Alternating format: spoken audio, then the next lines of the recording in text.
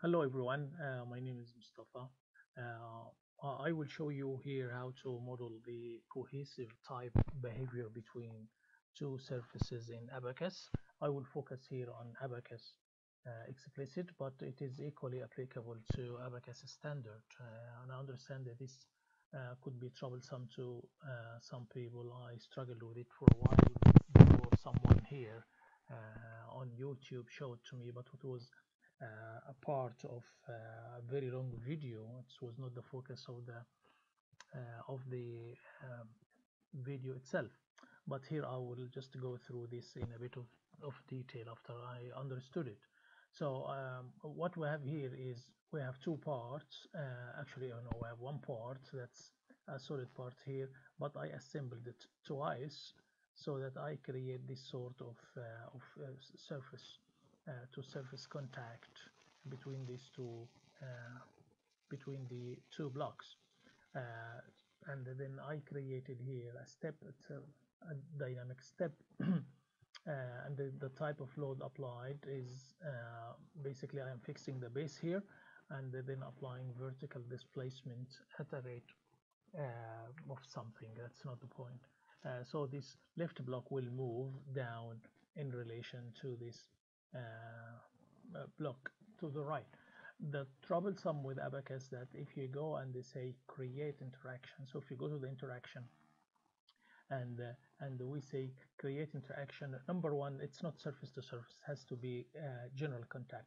But even with this, if you go and choose general contact, and then you come to this area here between the between the two blocks and the specified uh, as a cohesive uh, property, so it's cohesive interaction, uh, Abaqus will give you an error that, that this property doesn't match the type of interaction. Uh, but there is a, a, a way around it uh, that I will show you.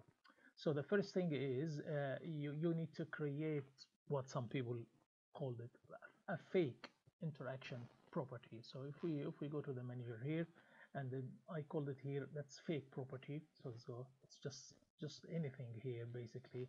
I chose here to be normal behavior.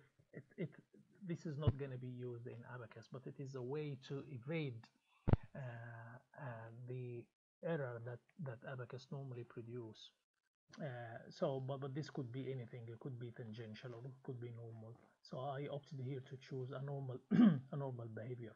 Uh, like I said this is the fake thing but the cohesive property is here so you create two properties. One of them is fake to trick Abaqus and the other one will bear basically the uh, cohesive properties that uh, you are interested in. If we edit it here so uh, I put I added normal behavior and then I have the cohesive behavior. I'm not going to spend time on the type on the cohesive behavior and this is the damage uh, that you can use. So whatever parameters you're happy with for the cohesive uh, behavior, that, that should be fine. So you have the initiation uh, and you have here also the evolution of the damage, how, how the damage will will uh, will evolve, evolve in, in, the process. Uh, I'm, I'm, using here energy, but you can use displacement. Again, this is not the point.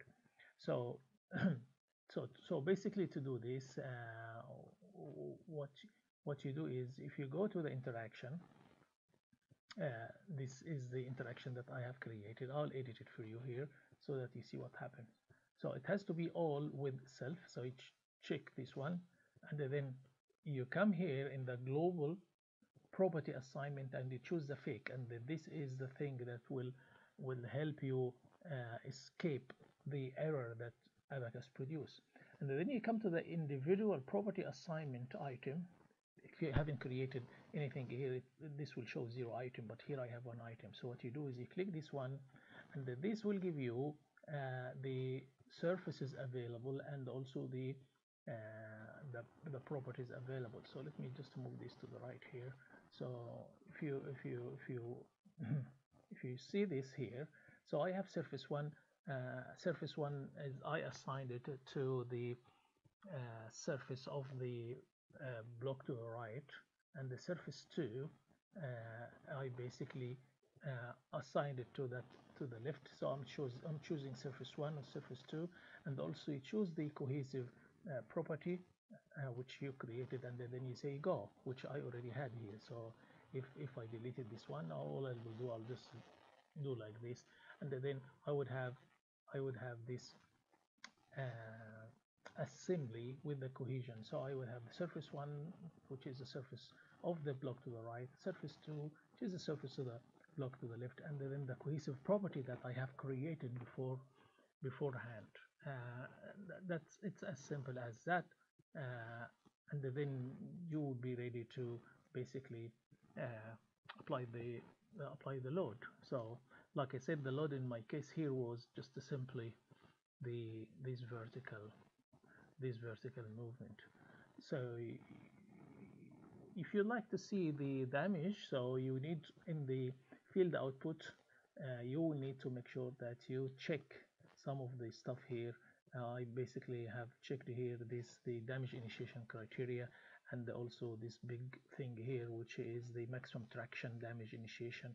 Uh, that's based on stress and the one below is uh, based on displacement uh, and, and so on and, and so forth so that you can you can see it. Uh, by the way some other people can opt to choose a, the cohesive element to represent the interaction so it, it can work and it, it may give you similar results. Either use cohesive element or cohesive uh, uh, behavior meaning cohesive uh, property for the interaction which I am using here. So when you when you do the analysis so here the, um, the analysis and it came successful. Uh, the intention is not to show you how to run this I presume you know it. If you go to the results uh, so yeah, I finished the analysis here. I'm applying the load over a period of time so this is why I have 20 frame here. Uh, but uh, this is basically uh, let us go again and see the visualization. This is the visualization and this is the failure at the interface as you can see I'm using this uh, parameter. Uh, but uh, okay so this is the here you can see this is the animation of the relative movement between the two blocks. So it's it's simple but like I said the clue to make this successful is to create this fake property that uh, that you have to evade you have to evade Abaqus with. Uh, hopefully you found this useful and uh, good luck everyone